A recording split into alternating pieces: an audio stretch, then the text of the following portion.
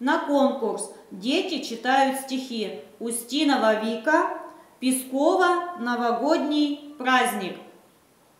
Ах, какая красота! Снег идет в лесу с утра, Рады зайки и бичата, и мишутки, и зайчата.